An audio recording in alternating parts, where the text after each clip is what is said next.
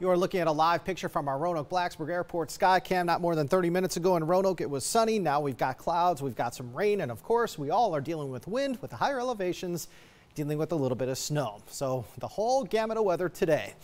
The radar showing that we are seeing a line of precipitation, say from Amherst and Nelson County out west into Giles and Craig counties. You'll notice that Lynchburg right now getting wet, Roanoke getting wet, towards the higher elevations of Craig and Giles counties. That's where you're seeing some snow, say near Mountain Lake. This is moving to the south and to the east at around about 50 miles per hour.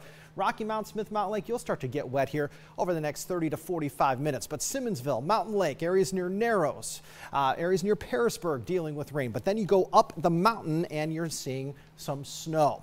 Future tracker showing that all of this is gone by around midnight tonight, although it's still going to stay blustery all night long. On Saturday, everyone will be mostly sunny from sunup until sundown. Today, we've had a lot of sunshine east, more clouds to the west. That won't be the case tomorrow. Everybody will see equal amounts of sunshine.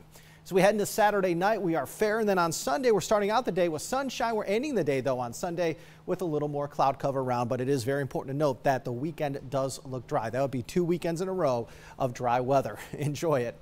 And attention skywatchers, you'll be able to see the International Space Station tonight for about five minutes. Look to the west-southwest sky beginning at around 8.46 p.m. Winds, they're howling. We've got wind gusts in excess of 50 miles per hour right now with sustained winds anywhere between 15 and 40 miles per hour. Peak winds so far today, Wytheville 53 miles per hour, Roanoke 47, Hot Springs 46, Hillsville 45 miles per hour.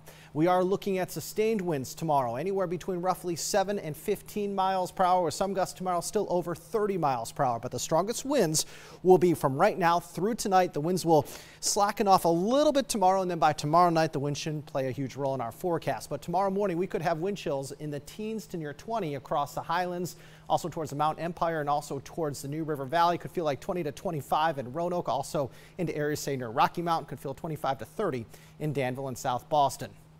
Right now, temperatures are in the 30s, 40s, and 50s.